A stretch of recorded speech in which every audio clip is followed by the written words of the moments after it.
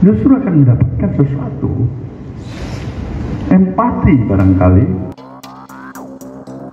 Ketua Umum Partai Nasdem Surya Paloh masih mencoba bersikap optimis usai partainya kembali dihadapkan oleh kasus dugaan korupsi yang menyeret nama Syahrul Yassin Limpo. Meski dirinya menyebut kalau kasus ini bisa mempengaruhi Anies Baswedan dan Muhaimin Iskandar dalam kontestasi pemilu, namun di sisi lain Surya Paloh meyakini kalau situasi ini belum tentu berdampak negatif ke Nasdem. Malahan kejadian ini juga diyakini bisa menimbulkan empati publik untuk partainya. Sebab ia meyakini kalau masih ada masyarakat yang memiliki keinginan dan terus berupaya membawa misi perubahan. pastilah ada pengaruhnya pada elektabilitas partai dan juga Amin pasangan yang didukung oleh Nasdem Bung Anies dan Bung Muhaimin Iskandar. Pasti ada.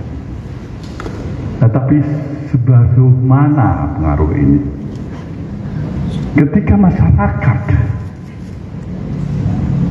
yang juga mempunyai masih harapan dan keinginan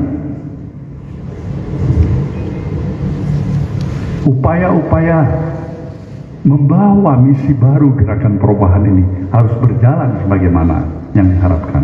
Saya yakin salah-salah bukan memberikan efek yang negatif. Insya Allah barangkali justru akan mendapatkan sesuatu. Empati barangkali kalau memang dilihat pendekatannya ini secara terus terang, terbuka, di mana salahnya, dan sebagainya. Sebelum Syahrul Yassin Limpo, Nasdem sudah lebih dulu diguncang kasus korupsi yang dilakukan Johnny G. Plate. Mantan Sekretaris Jenderal Partai Nasdem itu terlebih dulu terjerat kasus korupsi di Kementerian Komunikasi dan Informatika atau Kemenkominfo.